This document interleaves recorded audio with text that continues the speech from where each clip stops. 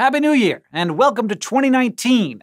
This year marks the 50th anniversary of the first humans to walk on the moon, and although we're not quite ready to send people back, 2019 is still shaping up to be a big year for lunar exploration. So, for our annual Future of Space News episode, let's peek ahead at three moon stories we will hopefully be talking a whole lot about later this year. It'll all start with Chandrayaan 2, which could launch from India as early as this month. As the name suggests, this is actually the second mission to the moon planned by the Indian Space Research Organization, or ISRO. The first roughly year long mission ended in 2009, but it made headlines last year when scientists discovered that one of its instruments had found ice hiding in some of the moon's permanently shadowed craters. If humans ever set up a lunar colony, that ice could become a valuable resource, and the Chandrayaan 2 orbiter plans to study it even further. But this mission is more than just about ice, it represents a huge step forward for the Indian space program. Because while their first visit consisted of just an orbiter and an impact probe, this one has an orbiter, a lander, and a rover. The lander and rover will touch down near the moon's south pole, a part of the surface that's never been explored like this. Among other things, their suite of instruments will study the environment created by the sun's solar wind on the lunar soil. The solar wind is a stream of electrically charged particles that pours constantly from the sun. When it strikes the moon's surface, it can knock some atoms free and bury others underground. Because our planet's magnetic field deflects the solar wind, this environment is unlike anything on Earth, so there's a lot we could learn from it. Spectrometers will also map the composition of the lunar surface and a seismometer will search for moonquakes, which, as you might guess, are similar to earthquakes but on the moon. That research will extend work originally carried out by the Apollo astronauts. This mission has been a long time coming for India. It was originally slated to launch in 2013 with a rover contributed by Russia, but Russia ultimately pulled out. That forced delays since ISRO then had to design and build their own rover. But after successful tests last October, everything seems go for a launch sometime in the first three months of 2019. Chandrayaan 2 isn't the only long awaited mission that will finally, hopefully, launch this year. In early 2019, a SpaceX Falcon 9 rocket is scheduled to lift off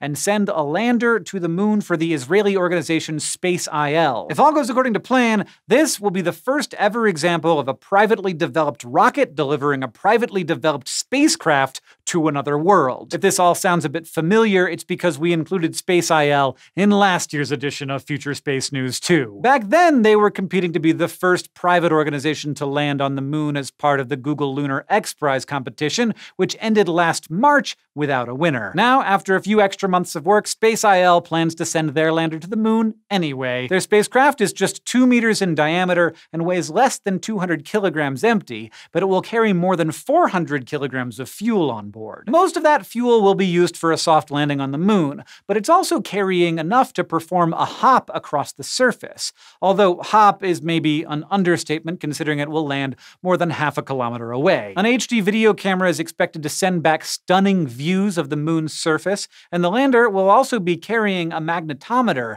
to explore the remnants of the lunar magnetic field. Although the moon doesn't have a global magnetic field today, rocks across its surface, some of which are magnetic, suggest that conditions might have been different billions of years ago. By using the magnetometer during the lander's descent and hop, the team hopes hopes to use those rocks to map the local magnetic environment. And while that might not sound like much compared to ISRO's mission, anytime there's a moon landing is always a really exciting time. The biggest lunar exploration story this year, though, will probably come from China. Back in 2013, they became the first nation to land on the moon since the end of the Cold War. And they also just landed the first ever spacecraft on the far side of the moon, the Chang'e 4 rover, which was huge and amazing. But this year, we'll also see the Chang'e 5 mission, which will attempt the first lunar sample return since a Soviet mission in 1976. It will dig as far down as 2 meters and return up to 2 kilograms of moon rocks to Earth. Most importantly, it's targeted at an area thought to be just 1.3 billion years old,